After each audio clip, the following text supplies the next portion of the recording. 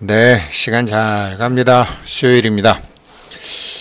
왜 얼마 전이 파이코인 대문 바뀌었잖아요. 그걸 제가 한번 자세히 보니까 infographic이에요. 그 대충 감은 잡았는데 인포그래픽. 근데 infographic이라는 것을 그렇게 강조하지 않고 아트 페스티벌을 강조해서 제가 중요한 점을 놓쳤는데 information하고 그래픽하고 합치는 건가 보다.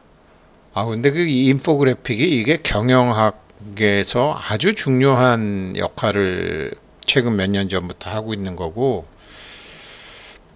이게 어, 저도 저희 집 아이한테 코딩 배워라 코딩 배워라 그랬는데 그런 이제 어, 어떤 기계를 다루는 걸 좋아하는 애들이 있고 아이들이 약간 이제 이과 쪽 기질이 가진 애들이 있고 문과 쪽 기질을 가진 애들이 있잖아요. 이과 쪽 기질을 가진 애들은 코딩 배우는 게 좋죠. 그렇지만 문과적 기질을 가진 애들은 infographic을 배우는 거죠.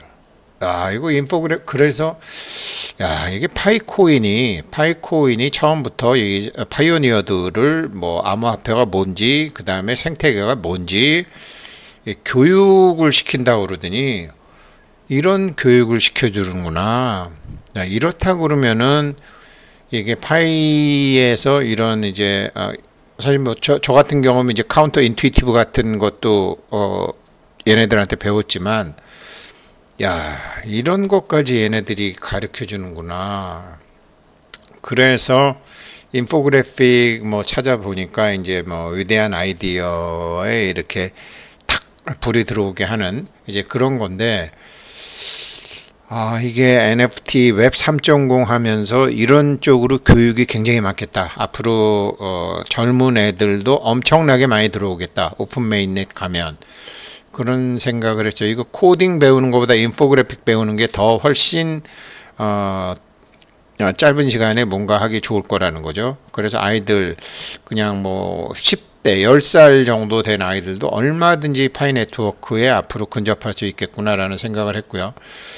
그래서 정말 이 사람들 뭐 교육이 어쩌고 저쩌고 하더니 우리는 또 교육 그러면 약간의 또 노이로자가 있잖아요. 젊은이들 어서 와라 이런 것도 가르친다. 그러니까 이 사람들의 경영 철학이 정말 이제 오픈 메인넷에 가면은 엄청나게 그참 아, 어, 참 이런 것도 하는구나. 너무 고맙다라는 생각도 했고요.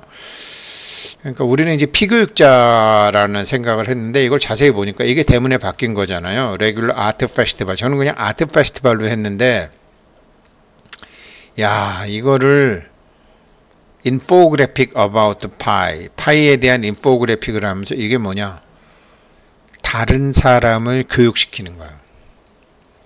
그러니까 이번에 8월 달에 이 아트 페스티벌 하는 주요 주요 목적은 파이오니어들 파이오니어들이 인포그래픽을 만들어 가지고 다른 파이오니어들을 교육시켜 주는 걸 돕는다는 소리예요. 그러니까 교사 양성, 영어 선생 양성, 인포그래픽 선생 양성이에요. 어, 뭐 국민교육헌장 같은 것도 없이 국민교육헌장에서도 우리 옛날에 전 국민을 교육자로 만들겠다라는 거 아니에요. 자원이 없는 나라였으니까 마음도 그때 그랬는데 지금 모든 파이오니어들을 다른 사람들을 가르칠 수 있는 그런 사람으로 만들겠다라는 거더라. infographic이. 그래서 infographic을 infograph 그러니까 제가 뭐 암호화폐를 가르치는 게 아니라 코인을 사고 파는 타이밍을 가르치는 게 아니라 infographic을 다른 다른 pioneer들에게 가르쳐서 본격적인 웹 3.0 시대로 가자라는 엄청난 엄청나게 중요한 게 지금 8월 달 아트 페스티벌이더라고요. 이게 지금 Educate Others라고 딱 나와 있잖아요.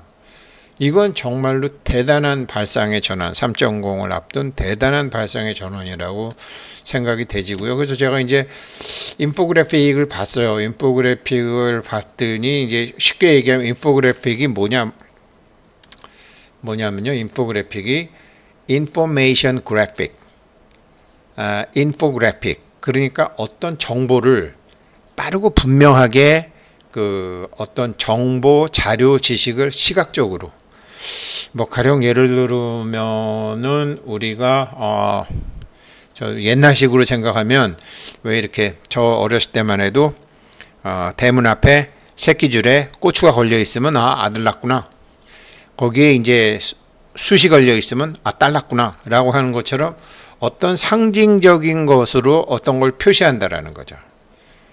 그러니까 자기가 전달하고 싶은 이미지를 자기가 전달하고 싶은 어떤 정보를 상대방이 쉽게 캐치할 수 있는 거로 하, 한다라는 거죠. 그러니까 참 에, 강의를 듣고서도 맥락을 잡기가 참 어렵고 글을 접하고서도 맥락을 잡기가 잘 어렵죠. 그래서 이 상징물을 많이 사용하죠. 상징물을 많이 사용하는 게 에, 나쁘게 얘기하면 이제 선동할 때도 많이 쓰고 어, 뭐를 탁 떠올리면은 그러니까 지금 뭐 노란 봉투법 노란 봉투라는 거를 뭐 하나 내고 또 뭐 예전에는 새마을 운동 그러면 새마을이라는 뭐 어떤 그러니까 그 어떤 이제 어떤 정보를 탁 떠올릴 수 있게 하는 거. 그래서 정보를 구체적이고 표면적이고 실용적으로 전달하는 점에서 일반적인 그림이나 사진과는 엄연히 구별된다. 그래서 이걸 Fireside Forum에 올려갖고 3.0으로 이익을 나누는 것. 근데 이거 가르쳐 주, 이거를 가리킬 수 있게끔. 그래서 복잡하고 빠른, 빠른 정보를 명확하게 설명해야 되는데 어떤 기호도 되고 어떤 그림도 되고 어떤 문서도 되고 차트도 되고 어떤 다이어그램도 좋, 좋고 흐름도도 좋고 로고도 좋고 달력도 좋고 일러스트레이션도 좋고 이런 게 전부 다 인포그래픽이라는 거죠. 척 보면 알게 하는 거. 이거를 가르쳐 준다라는 이거를 배워서 다른 파이오니어들에게도 우리가 할 수 있게 하는 이걸 자기가 배워서 자기 자녀들한테도 가르쳐 주는 거예요. 아, 그래서 우리 엄마가 아, 우리 할머니가 뭐, 뭐 이상한 어, 어디 다단계 누구한테 걸렸나 대도 않는 무료 코인 채굴 한다고 뭐 별 이상한 거 하는 거 같더니 저 할매가 KYC도 알고 인포그래픽도 알고 나한테 인포그래픽도 가르쳐 주고 이렇게 되는 거죠. 어, 어마어마한 일을 하고 있는 거더라고요. 그래서 보니까 뭐 영어로 됐는데 제가 일부러 번역 안 했는데 그러니까 아, 여기 이제 이, 지금 복잡한 복잡한 데이터를 아주 간단하게 표현, 하는 거. 그 다음에 눈으로 어떤 이야기 구성, 스토리텔링이 가능하게 하는 거. 그 다음에 두 개를 쉽게 비교해서 어느 게더 좋게 하는지. 그다 이게 경영학에서 이거 쓰는 거예요. 인포그래픽은 어디에 쓰는 건가요? 어디에 쓰면 좋은가요? 그죠? 교육적인 목적. 그 다음에 사람들의 뭐 이렇게 가령 요즘은 옛날엔 수탁 그러면 토트넘 가려면 토트넘 핫스퍼 같으면 수탉이잖아요. 이런 거를 동, 많이 쓰잖아요. 그럼 해태 타이거스, 뭐 삼성 라이온즈 어떤 심볼을 많이 쓰잖아요. 올림픽 같은 거 하면 로고가 있잖아요. 서울 올림픽 같으면 뭐 호랑이 뭐 이런 게 평창 올림픽 같으면 곰 그게 전부 인포그래픽이라는 거죠. 그래서 이거 마케팅이나 어떤 광고에도 쓰이고 그 다음에 이렇게 막 숫자로 골치 아프게 돼 있는 것 같고 시각적으로 색깔로 하고 우리 지금 전 세계 사람들이 제일 감탄하는 도로가 왜 우리가 도로에서 우회전 할때 어, 미리 빠져도 안 되고 이게 어, 막 톨게 막 부, 이, 톨게이트 뭐라 그래요? 아, 그래서 어떤 거는 초록색으로 돼 있고 어떤 거는 분홍색으로 돼 있고 그래서 이게 저기 뭐야 제천으로 가려면 초록색을 따라가고 원주로 가려면 빨간색을 따라가요. 이렇게 데이터를 시각적으로 한다라는 거죠. 이런 식으로 해서 어, 이런 식으로 해서 상대방이 쉽게 이런 거를 알아듣게. 그래서 제가 이건 어, 야 이거 청대어팡 여사가 이게 맹자 할아버지처럼 교육에 아주 관심이 많네. 이제 근데 또 이런 얘기하면 참 좀 어려울 것 같아서 그냥. 어, 쉽게 아 이게 인포그래픽이라는 게 이런 거구나. 근데 이게 인포그래픽이 요즘 경영학의 핫템하고 각 기업체들이나 각 그 광고나 마케팅이나 뭐 방송이건 뭐건 굉장히 이게 영역이 넓은 거구나. 근데 그거를 우리 pioneer들이 앞으로 자기 referral 그룹을 만들고 할 때 우리가 생태계를 확장시켜 나갈 때 이 인포그래픽을 통해서 다른 사람들에게 파이의 미래를 설명할 수 있는 그런 거를 한다라는 거죠. 어 이거는 청 이, 이런 비즈니스는요. 이런 이런 비즈니스는 이건 누가 나 누가 와서 돕더라도 돕게 돼 있거든요. 그래서 오 정말로 좋은 거예요. 그래서 제가 야 이거 뭐 코딩 배우라 그러면 저도 코딩 배우라고 저희 아들한테 얘기했지만 제가 뭐를 배워서 하기는 참 어려운데 인포그래픽은 배워야죠.